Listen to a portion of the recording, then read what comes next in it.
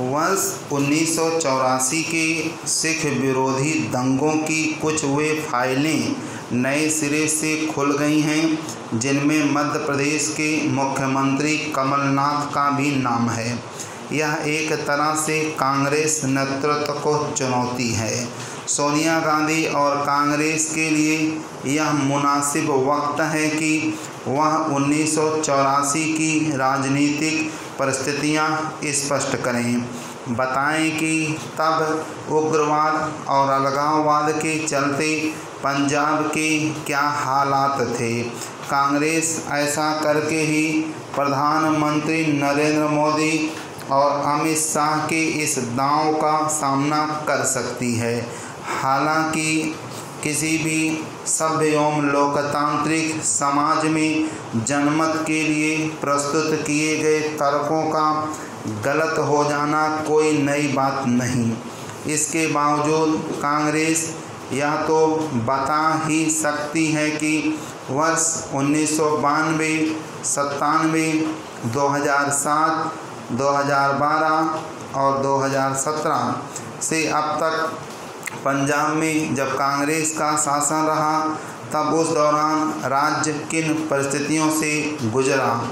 दिल्ली में भी शीला दीक्षित के नेतृत्व में कांग्रेस 15 वर्षों तक सत्तारूढ़ रही और उस समय पार्टी का केंद्रीय नेतृत्व सोनिया गांधी के हाथों में था।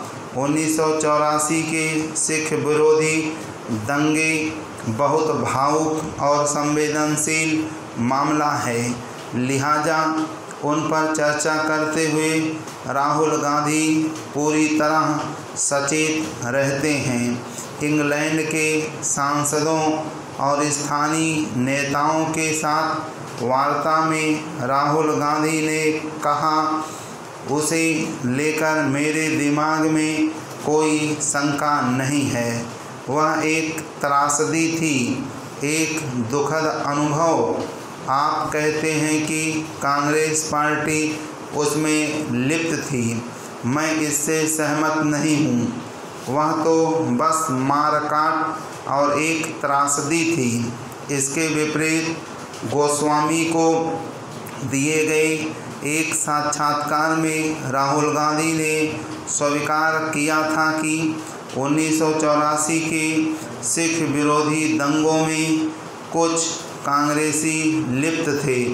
इस साक्षात्कार के दौरान कुछ इस तरह की बातें हुई थीं। क्या सिख विरोधी दंगों में कांग्रेसी लिप्त थे? शायद कुछ कांग्रेसी लिप्त रहे होंगे। क्या पीड़ितों को इंसाफ मिला? एक कानूनी प्रक्रिया होती है जिससे उन्हें गुजरना पड़ा। आप स्वीकार करते हैं कि कुछ कांग्रेसी इसमें लिप्त रहे होंगे। कुछ कांग्रेसियों को इसके लिए सज़ा दी गई। अपनी राजनीतिक और चुनावी मजबूरियों के तहत राहुल गांधी वे बातें नहीं कह सके, जो उन्नीस सौ निन्यानवे में दक्षिण दिल्ली से लोकसभा चुनाव लड़ते वक्त डॉक्टर मनमोहन सिंह ने कही थी।